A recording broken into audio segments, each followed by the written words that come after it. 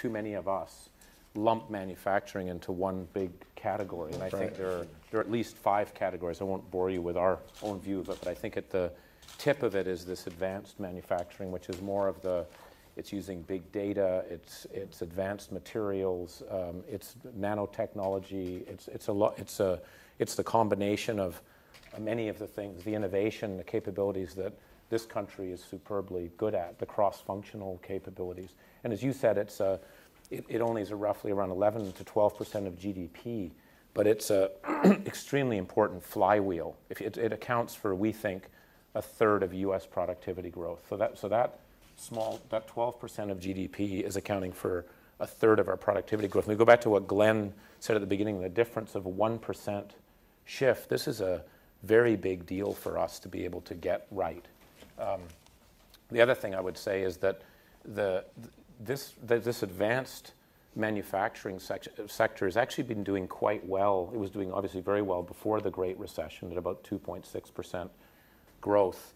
It has continued to do that in spite of all of the challenges and changes that, that's going on. And we think that there's an opportunity for it to grow at a much more significant rate.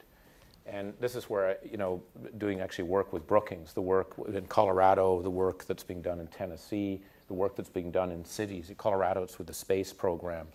The, the areas where I think we could really advance advanced industries is, is by doing some of the things that the country does very well. If you look at the Silicon Valley, you look at the, what's happening in Austin and Texas, you look at what's happening with Cambridge, everyone else in the world tries to replicate these, but it's very difficult to do. I can I could reel off a mm-hmm. lot of Russia's trying to do it, Malaysia tries to do it, China's trying to do it there is something that we have, and it's in the, I don't know, it's, it's in the air, I don't know where it is, but it's a collaboration. And I think if you look at what's happening in Colorado with the space program, you've got 370 companies.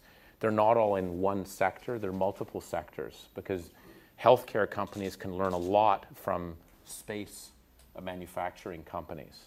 The video technology that's being used, the interfaces that's done uh, in, in the space program is very applicable to if you're a young doctor uh, doing diagnostics and so forth, the medical device companies, you want to be together.